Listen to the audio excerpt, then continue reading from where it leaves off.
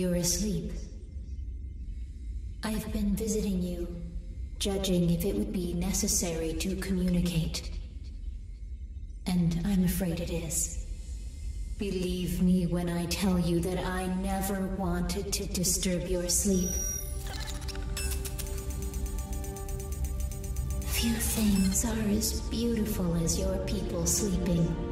And what dreams? Isn't it a tragedy? A world independent of them. A real world. Regardless of that, if we are to believe such a thing exists, I need you to wake up.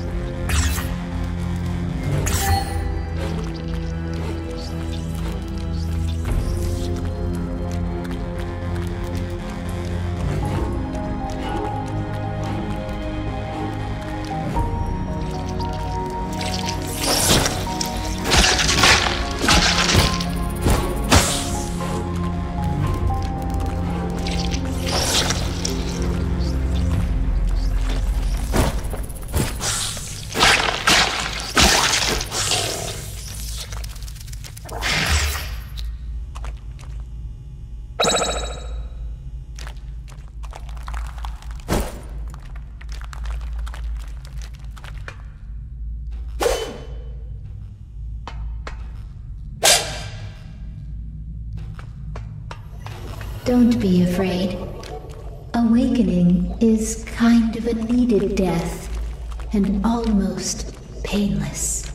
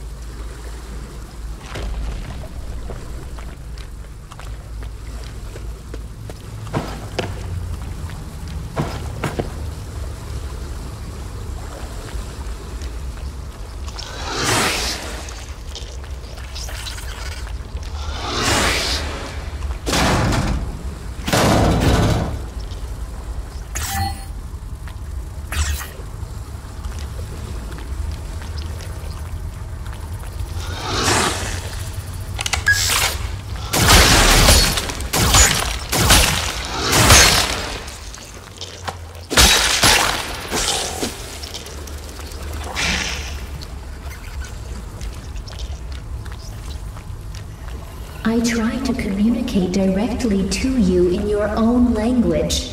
It's very hard, and sometimes I will not succeed. Your mind is strange, and there are others like you here where I am, suffering the same illness.